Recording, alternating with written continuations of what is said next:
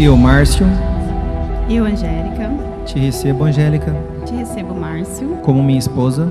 Meu esposo. Te, prometo, ser fiel, fiel amar-te e te respeitar-te, na alegria e na tristeza, na saúde e na doença, todos os dias de nossa vida